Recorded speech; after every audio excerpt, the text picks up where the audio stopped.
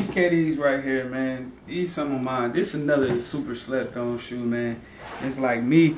I'm all about like when I get shoes, man. I like them because of you know the features and all that stuff. And this shoe really like kind of, you know, took me by surprise because of the fact that you know what I'm saying the whole the whole bottom of the shoe glows. You know, then on top of that, you know the Nike symbol glows. Pretty much all this glows and all that. You know, all this is 3M. You know what I'm saying? And they came with some uh, some all 3M laces. And then on top of that, man, you just got um, you know, they came with this card, man, little all star card, little gumbo card, or whatever. And for me, like these, these probably some of my little, some of the dopest shoes I got to me. You know what I'm saying? That's that's just in my opinion, you know. But yeah, man, these they definitely some of the best ones for me, man, cause they got all that New Orleans in here. You know what I'm saying? Show everything about New Orleans, and it's because of the All Star game was in New Orleans last year, whatnot. So, you know, these these were definitely some of the favorites for me. Okay, so out of your whole collection, what is your most favorite pair?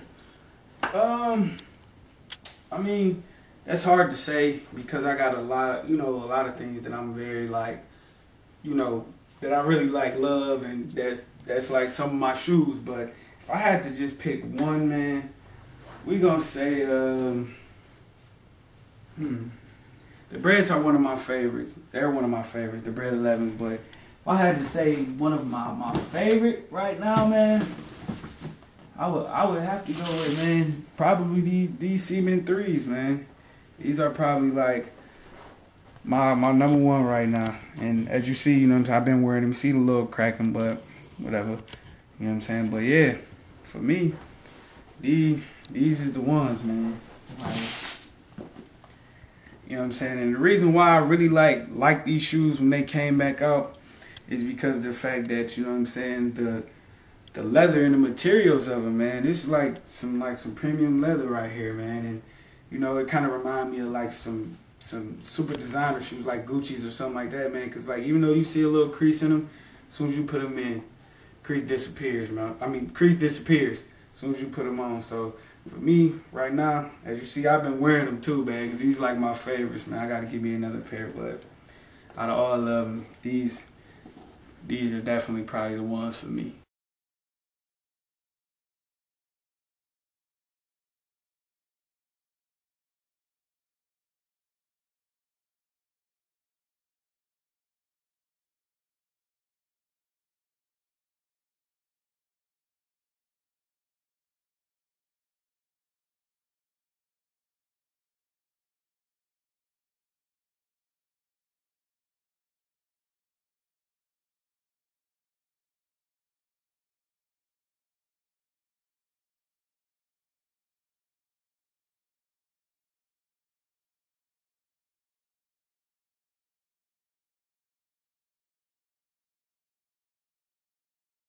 Some of the ones that I haven't showed you uh, yet. Um, definitely for me, for these these right here, these are you know what I'm saying pretty like some of my favorites. And the reason why I say that is because like you know what I'm saying. Of course, it's Allen Iverson shoe or whatever. And uh, but the thing that really make them like like you know what I'm saying make me like them is the fact that you know got this uh limited tag or whatever. And every pair is numbered, you know what I'm saying? And these are pretty much like um, his, uh, what they call Oh, his retirements. They call them uh, the banners. You know what I'm saying? That's what made me really like them. And uh, what we got here? Um, these Chicago 10s, they're also some of my favorites, you know, just because, you know, this was uh, OG colorway, you know what I'm saying? And on top of that, I really like the tens because of you know this little lace lock system and all that, and you know they good to hoop in pretty much. So these were like some of my favorites too. Um, next uh, we got these LeBrons, the Cannons. Uh, I got these shoes, you know, because of course I like the shoe itself, you know what I'm saying. But on top of that, you know, I was just digging the colorways, and you know these were like uh, you know, the crazy colorway with the orange and the couple colors type of green with the Vogue green and all that. So you know, and then it kind of reminded me of uh, the Miami Hurricanes too. So you know, that was one like one of my favorite college teams growing up. So I had to have these. Okay, so give me your outtake on the sneaker game itself today. Like, why does it? Why does people always give sneakerheads a negative look just because they like to buy shoes? Um, I think the reason why you know a lot of sneakerheads get a negative outlook is because you got you know a lot of guys that's really in this in the sneaker game. They they priorities aren't you know what I'm saying they aren't that good or whatnot. Like you got guys like you know you got a guy that he'll be in line to buy shoes or something like that every week, but he might not have a car. Like, you know what I'm saying? Like, I've seen guys get on the bus with shoes and stuff like that. And I don't knock nobody because I feel like everybody's entitled entitled to get shoes, you know right. what I'm saying? But at the same time, like, you know, some, some guys' priorities are, you know what I'm saying, are messed up. And then on top of that, you know, um, I mean, I think it's all about what you think is important in life. You know what I'm saying? Because – some people like me, I don't knock nobody's hustle when it comes to the sneaker game or this, this, and that. You know, you got people that stand outside for hours. You got people that you know buy bots and buy the ATCs and all that stuff like that.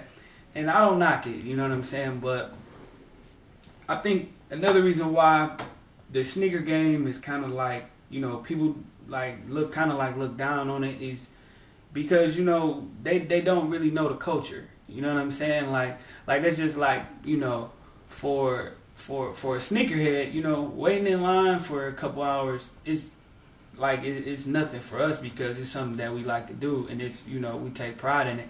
But for someone like you know like a woman that's not really into sneakers or a guy that's not really into sneakers, of course he's gonna look down at it like uh you know look at those fools outside and they this they that they this they that. You know what I'm saying? That's because he doesn't understand it you know. But I understand it, so you know, it, it, it's cool for me. How long you been collecting them?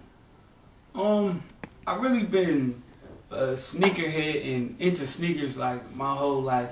You know what I'm saying? It started when I was like, uh, I'm gonna say maybe like 10, because I had a lot of older cousins that was like, for real, for real sneakerheads. Like they they was crazy about them back in the day when you know wasn't that hard to get sneakers and all that. You know, they had everything. And my dad, he also, you know, he he bought me everything too. So that kind of like got me into the game. And then as I, as I got older, man, it was like, you know, when I started being able to buy for myself and, you know what I'm saying, I kind of really just found myself just almost like buying everything. you know what I'm saying? Because back then, you know, you had Forces and Air Max and you know what I'm saying, you had everything, but I really didn't start appreciating them until once I got a little bit older. I'm gonna say around like like I'm 27 now. I want to say about probably about like 22, 21, 22. That's when I really started appreciating everything. Really started kind of like taking care of the collection and stuff like that. Because it was time that I used to look back and I'd be like, damn, like I spent, you know, uh, ten thousand dollars on shoes this year, and I don't, or I spent five to ten thousand dollars worth of shoes this year, and all of them messed up. You know what I'm saying? So I, so that's what kind of like made me get off into the sneaker game like that and start making me really like take time and start collecting them. Um, I mean, well, these these are my favorite shoes right here. My uh, the Jordan 11s, the bread. These are my like my. If I was to say my number one Jordans, these would be the ones. And uh, it's not because of the hype beasts or nothing like that. These were just the dopest ones to me. You know what I'm saying? And I done probably had seven pair of these in my whole lifetime. Like as you see, the last time I had to get two pair just because they they were my favorite shoe. You know what I'm saying? And for me, these right here, these was everything. Like everything. I, I just I How just do you feel about the sneaker game as a whole today? Um, I feel like uh, it it could definitely be better, you know. But I, I think it's I, I think all in a whole, like it, it's nothing what it used to be. You know what I'm saying? Because like it's like when I first started doing this as a kid and as a teenager and stuff like that, you know, it you should just you used to just be able to just pretty much just go into the store and you know buy shoes, but I think the reason why it's it's declining is because you know nowadays you got got you got pretty much like the whole hype beast thing and stuff like that. You know, you got a lot of shoes that are more hype than the way they actual look like. You know, because me, like a guy like me, I buy what I like. You know what I'm saying? As you can see, I wear all my things. I, I buy what I like. You know what I'm saying? And you got a lot of guys that pretty much just they buy everything because of maybe like the popularity of the shoe or you know or or who who wore it first or whose shoes they are and and stuff like that. And then on top of that, you know, you got you know all this stuff like uh with the new the bot things and stuff like that. Like that that that really irritates me. You know what I'm saying? Because that that really like takes the the fun out of you know like the sneaker game stuff like that because you know you want a guy to pay retail for the shoes and then you know well 90% of the times you really can't get them if you're trying to order them you know because you got guys that's you know they want to make bots and stuff like that and if you guys don't know a bot is pretty much like a it's like a code on a computer that pretty much carts all the shoes for people you know but you got to pay for it you know, so pretty much on top. I mean, I mean, so pretty much it's like you gotta buy a bot, which is usually, um, you know, thirty to fifty dollars, or even some are even a hundred, depending on the actual shoe. You know, so you gotta buy that, and it's not even guaranteed all the time. You know, and then on top of that, you gotta pay retail for the shoe, and it's like you know, these guys that's you know, they're, they're trying to really get over on the real sneakerhead guys. You know what I'm saying? Because you know, people got bills and all that type of stuff to pay. So people can't really pay three, four hundred dollars a shoe every time they come out or two hundred dollars a shoe. So you got all these guys that's they going and getting these bots, you know, they'll go buy ten pair, twenty pair. some even go buy thirty pair. You know what I'm saying? Then try to sell them back to the real sneakerhead, you know what I'm saying? That that usually pay retail or whatnot. And for me, like, you know, that it's kind of deteriorating. And then you know you also got guys that doesn't even like. You'll find a guy in the mall that doesn't even like the sneaker, but he'll buy it because he know that it's a popular sneaker just to sell it and make some money off of it. And it's like those type of guys. Those are the type of guys that mess up the sneaker game. You know what I'm saying? But I mean, I'm digging the shoes that's coming out right now. They're they're cool. You know, I wish uh, Jordan would kind of like stay a little bit more original with his colorways and stuff like that, you know. So, but I mean, I guess hey, it's new culture, new year, new shoes. So I mean, it's all cool. Uh, yeah, these 13s right here, altitude 13s. These are some of my favorite too. These are uh, a 2010 release, man. I got I actually got a crazy story about these too, man.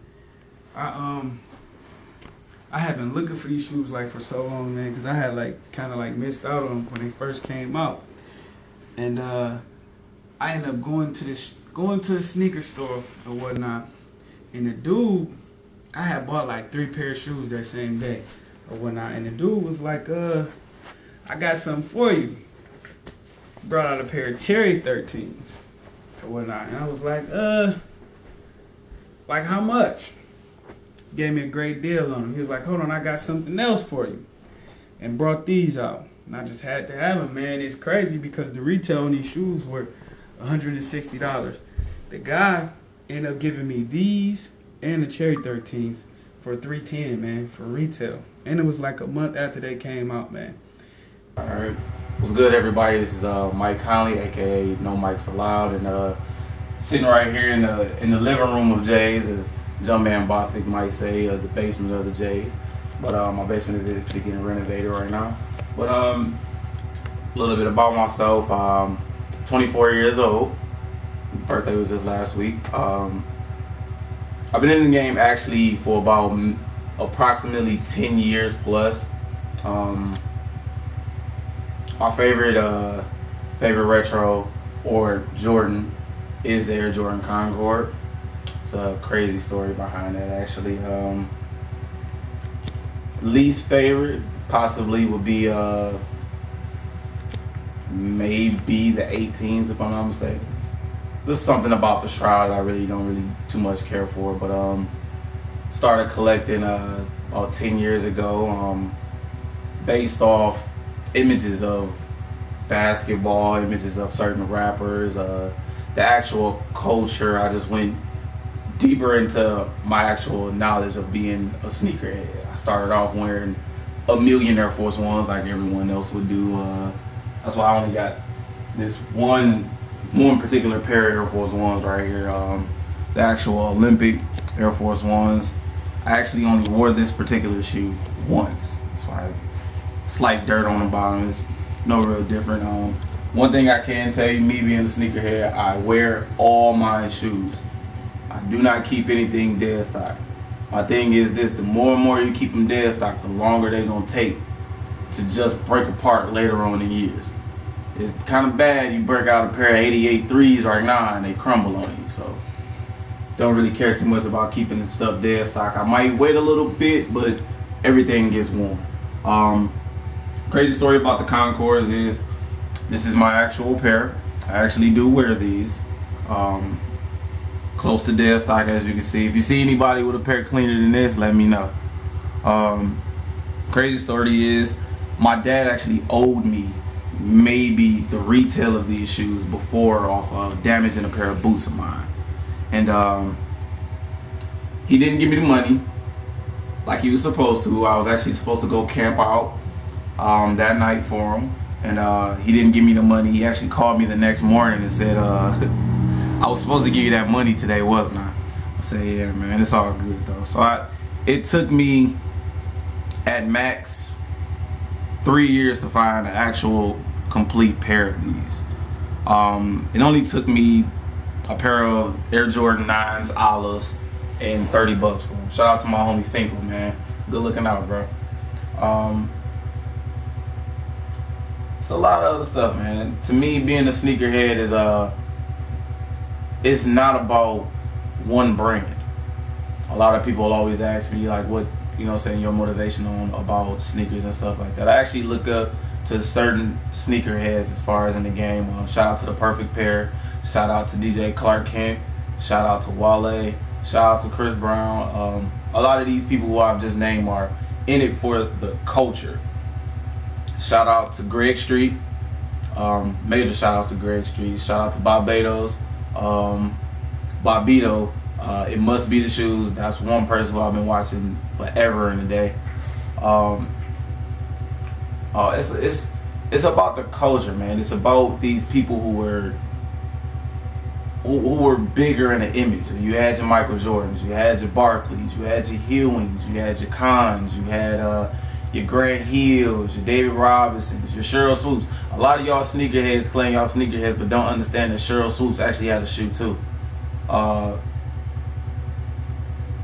like I said, you got your Stackhouses, man. It's it's it's a different look. Every shoe has a different look to it. This is the Jerry Stackhouse Fila Stackhouse 2.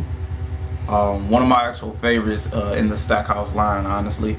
Um, this is the original Pistons color, the red, white, and blue. Um, major shout out to uh, Jerry Stackhouse as well, man. Um, every shoe just has a different look. It has a totally different look. Not all shoes are supposed to be Jordan. Not all shoes are supposed to be Air Force Ones. If that's the case, that'd be the only brand out. But I like to take a different approach about it. Like I said, every shoe has a different. Shout out to Larry Johnson for the actual cons, man. This is one of my favorites in Converse. I don't really wear Chucks too much. Um, wasn't a pretty big fan on Chucks. They kind of hurt my feet. But um, I do actually like the cons. Shout out to Grandmama. Um, it's a pretty good shoe, man.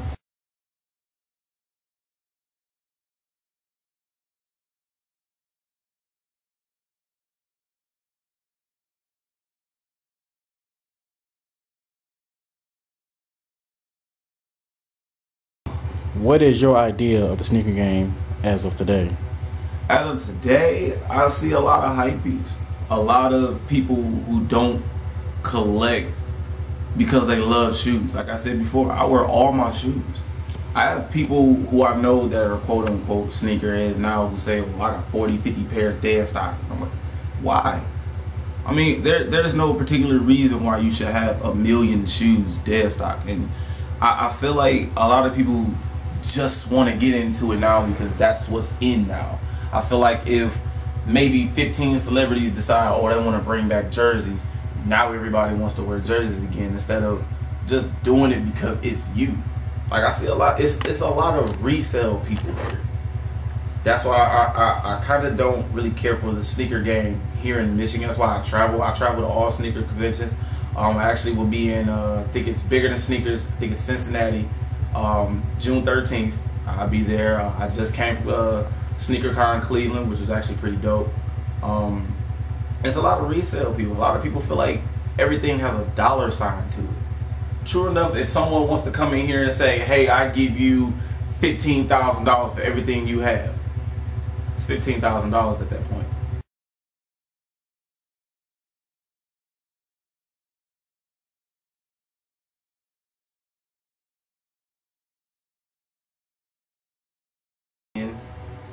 Uh, this is my all-time favorite Iverson.